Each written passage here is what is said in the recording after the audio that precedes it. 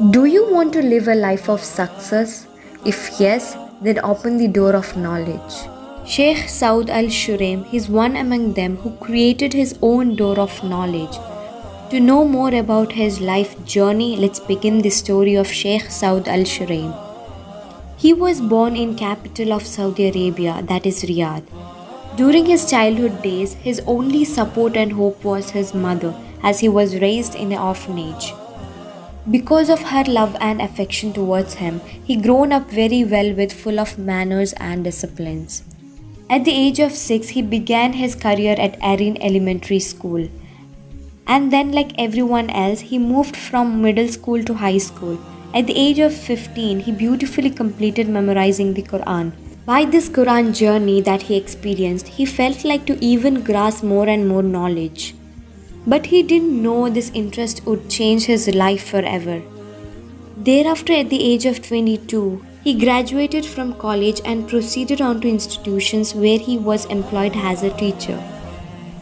Impressed by his actions, knowledge, and all of his achievements, at the age of 26 itself, by King Fahad's order, he was appointed as Imam to lead Taraweeh prayer in Masjid al Haram. It was in this period where his status elevated and his beautiful mesmerizing voice was caught by millions of Muslims. Not only this, a year later he got appointed as judge of High Court of Makkah and also began to teach in Grand Mosque. For him, even after attaining all these achievements, the craving desire to acquire knowledge never stopped.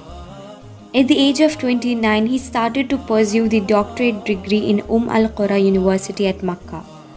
After years of hard work, at the age of 43, he became professor in comparative religion and also specialist fiqh professor. Now he is 54 years old, who is one of the most famous figure in Islamic world. He is also an imam of Masjidul Haram for last 25 years. Sheikh Shuraim is renowned for his smooth recitation style, having one of the most distinctive and unique voices. He is often considered among the best Quran reciter in the world. Shuraim is also a cousin of fellow Imam and Khatib Sheikh Sudais, both of whom are from related tribes.